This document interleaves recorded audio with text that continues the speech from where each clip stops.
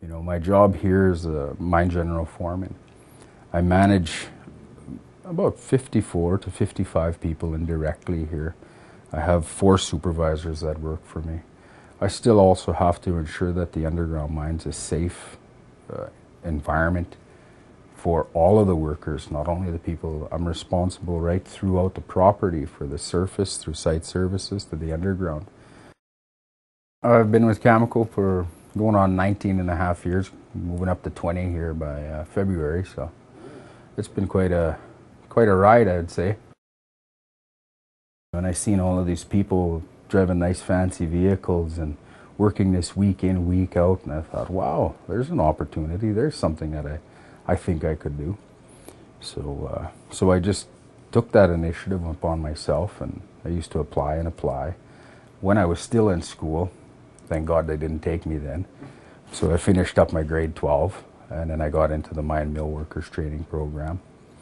From there, once I got into the mining end of it, you know, it, it was a challenge right off the bat, and it was new. It was it was uh, something to learn constantly, daily. I've been working through a lot of different uh, areas. Uh, started out at the bottom, and uh, here I sit today.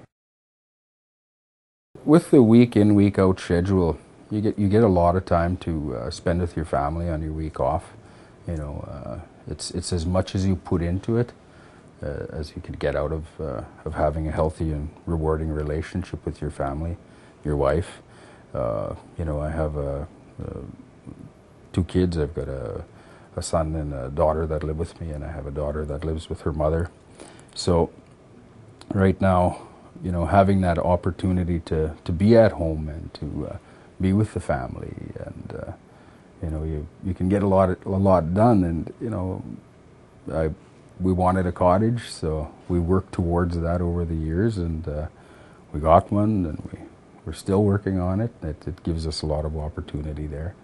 It also gives me an opportunity to help around the community and to, uh, to spend time with family and friends, uh, do the things I, I like to do, you know, and my family likes to do, so it gives us a lot of opportunity.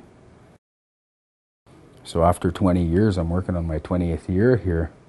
Uh, you know, you, you're you're looking at a pretty substantial sum of money when you go to retire, and the company's matching you on that. So, you know, money's not everything, but it uh, it sure helps out a lot when you can get a a, a good paying job. Uh, the starting wages right now for a laborer uh, underground, you're looking around 28 bucks. You know the uh, technical positions, uh, getting into those areas, you're still looking 28 to 35 dollars an hour. So the money is is there. It depends on the level of education you have. Without going and getting a technical uh, diploma in mine engineering through Haileybury, or uh, not having a uh, mine engineering degree, to sit in this chair and help steer this this company in a direction where we, we, are targeting safety and environment and radiation and uh, production. Uh, I would never be able to sit here without that ex, with, without that experience and, and time. Not taking the time earlier in my life and, and in high school, uh, I struggled with with the math. In uh, once I got into surveying and I, and I seen the direction I wanted to go, you know, getting into the mine planning was the next step, and I knew I needed to have those skills, those math skills. Um, you know, the sciences, the English, uh, that type of stuff. That was that was pretty easy in school, I guess, if you focused on it. But the math, I always thought, what am I ever going to use the math for? You know, now it's it's a daily it's a daily uh, requirement for my job. You know, I'm trying to help the engineers here figure out how much concrete we've got to put in raises and how much concrete's got to be poured on floors and you know the reaming and the, the volumes of material that's coming out you know. Uh, you've got the computer and you've got a calculator but if you don't have a basic understanding of math you're uh, you're not going to hit the right targets you know. You're going to be a bit off if you want to come to work in the mining industry I, I would highly recommend and and it's a requirement. It's working. We're working towards a requirement where grade 12 is uh, is a preferred, and that's the first step to get into even a laborer position here now. Uh, we have a lot of uh, technical positions that we start the laborers out at in. So we start out as a laborer, and we then we can see what your aptitude is. From there, we can progress you either into a raise boring or uh, into a technical field here at here at the sites.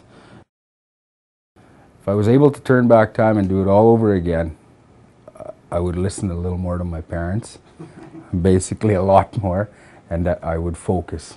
I would focus on my maths. I would focus on the sciences end of things. If you want to get into the mining field, uh, yes, you can get in with a grade 12 and you can get in to be a, a very successful uh, apprentice, uh, getting up to a journeyman status. If you want to get into management and you want to aspire to run this mine someday, you need an engineering degree. I strongly suggest you stay in school, get as much education as you can, use the uh, the systems that are in place for you right now. Uh, you got uh, bunch of different bursaries and programs and sponsorships that can be uh, can be dug into. Uh, get into the engineering end of things, into uh, the sciences, you know, and not only mining. You know, we need we need more northern doctors. We we need more um, politicians in general that have a lot of education. You know, so there's there's everything and under the sun that you can do, uh, just if you focus a bit and uh, get it together early.